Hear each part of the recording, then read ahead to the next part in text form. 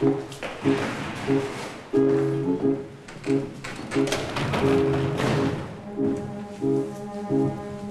ferai parvenir mes instructions. Par écrit. C'est totalement malsain ce que tu fais là. Pourquoi est-ce que tu fais des choses pareilles?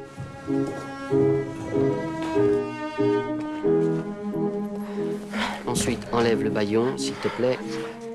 Et assis-toi sur ma figure. Et donne-moi des coups de poing dans l'estomac. Ajuste la ceinture d'au moins deux ou trois crans. Plus c'est serré, mieux c'est.